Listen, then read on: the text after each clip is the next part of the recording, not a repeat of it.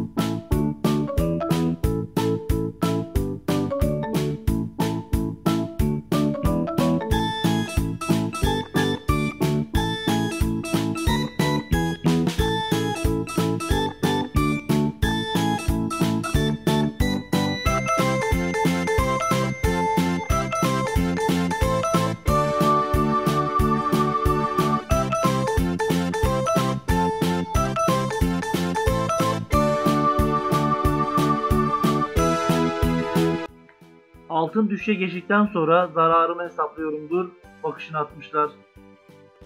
YouTube kanalıma abone olmayı, yorum yapmayı, beğeni yapmayı unutmayınız. Bizleri izlediğiniz için teşekkür ediyorum. İyi seyirler diliyorum.